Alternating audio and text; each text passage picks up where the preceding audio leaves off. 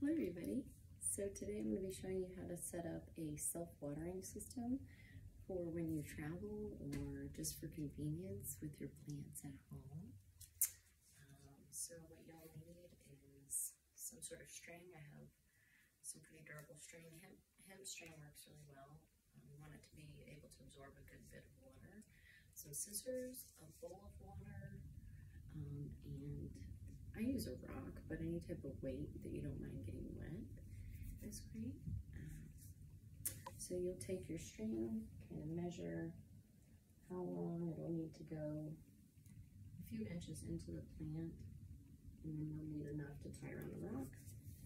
So that should be good. Make a couple of these. And you're pretty much gonna make a little octopus shape with your rock kind of give it some tentacles. I have a nice heart-shaped rock I'm going to use. uh, you can also put like a rubber band around here. Um, I should probably should have gotten that to show you, but you could just um, take a rubber band and tie it around your weight, and then it would just go like that, and you put the, the band around there. But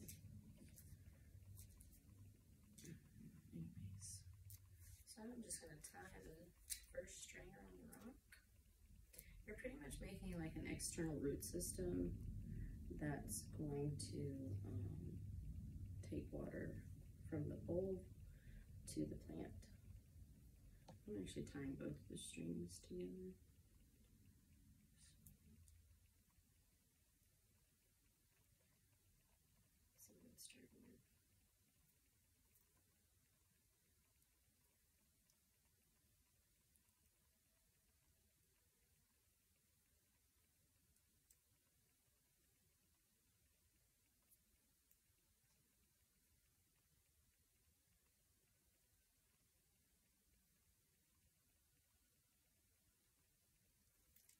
So I've got it tied around one edge of the rock and I'll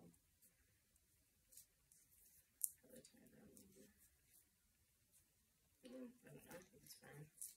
So I got my string tied to my rock. You can, if I'm going away from it, I'll probably tie it one more time. Make it like that, but just for, yeah, I guess we could do that. Okay. So you can see it, version of this. Alright, there we go. So you got your tentacles with your rock. And you just dunk it all in the water to make sure it gets absorbed. Just dunking it in there. Getting it all wet. And then you pull your tentacles out keep the rock in there and just make sure that where you place your bowl of water is above your plants because gravity is going to help this. And um, I have a little pick that I use to help put the string in there. Take it.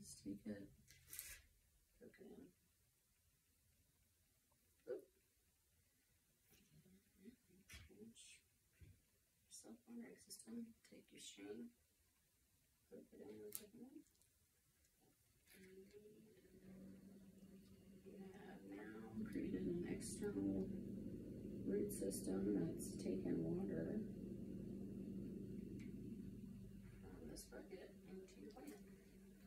And you can leave it for a month, maybe more.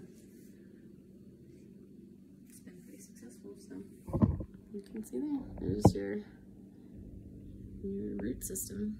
It's going to self-water. All right, thanks for joining.